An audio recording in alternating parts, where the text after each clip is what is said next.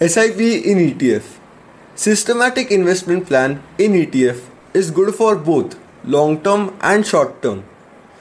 तो फ्रेंड्स आज हम ये देखने जा रहे हैं कि किस तरह हम रिस्क फ्री इन्वेस्टमेंट से डिसेंट प्रॉफिट्स अर्न कर सकते हैं। और आपको इससे जो प्रॉफिट्स मिल सकते हैं, वो बैंक एफ़ डी से काफ़ी ज़्यादा, या यूँ कहिए कि बैंक एफ़ डी से ऑलमोस्ट डबल मिलेगा। तो शुरू करते हैं।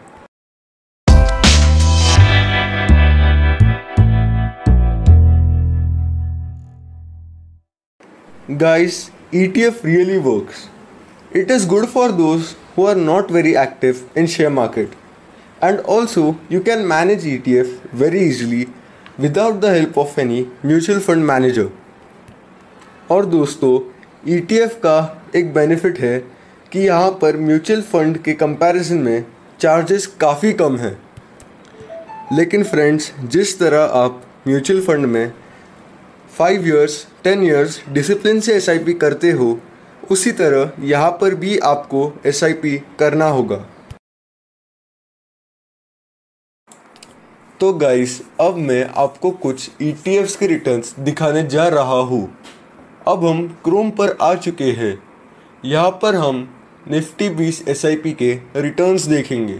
तो मैं यहाँ सर्च बार में निफ्टी बीस एस कैलकुलेटर डालने जा रहा हूँ। तो अब हम यहाँ पर मनी कंट्रोल के लिंक पर क्लिक करेंगे। तो यहाँ पर आप देख सकते हो Nippon India E T F Nifty BeES का एस आई पी कैलकुलेटर आ चुका है।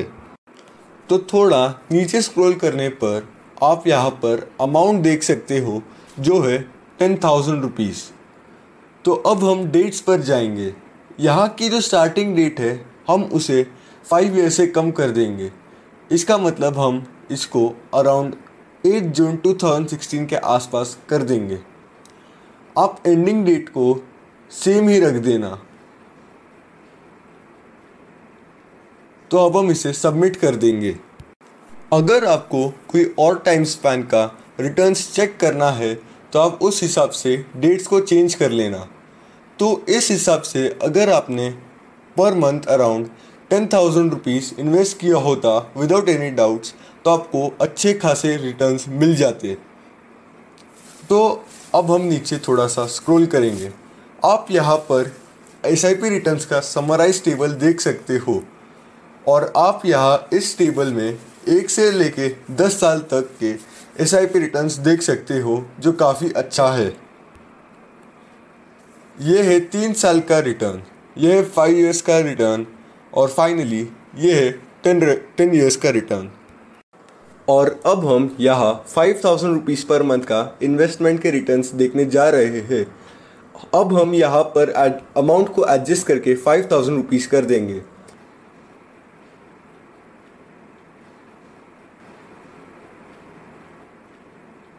यहाँ पर सारी रेट्स को सेम ही रखेंगे और अब हम सबमिट के बटन पर क्लिक कर देंगे। यहाँ पर अब आप फाइव थाउज़ेंड रुपीज़ के रिटर्न्स देख सकते हो। और अब थोड़ा स्क्रॉल करने पर आप फिर से एस आई पी रिटर्न्स का समराइज टेबल देख सकते हो। और आप यहाँ इस टेबल में एक से लेकर दस साल के एस आई पी के रिटर्न्स देख सकते हो, जो काफ़ी अच्छा है। ये है फाइव ईयर्स का रिटर्न और ये है टेन ईयर्स का रिटर्न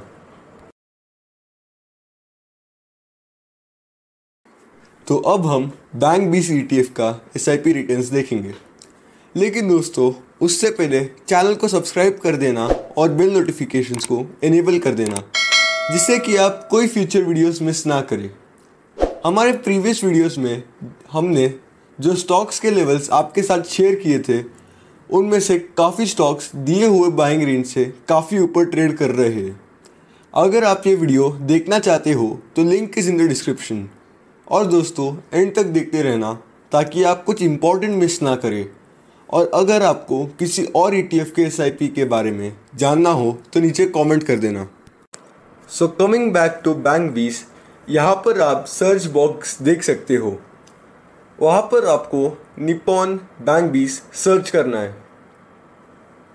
यहाँ पर दोस्तों Nippon India bank BeES ETF के लिंक पर क्लिक कर देना है। लोड होने पर थोड़ा नीचे स्क्रॉल करके कैलकुलेट रिटर्न्स पर क्लिक करना है। और वहाँ पर एस आई पी कैलकुलेटर के ऑप्शन पर क्लिक कर देना है।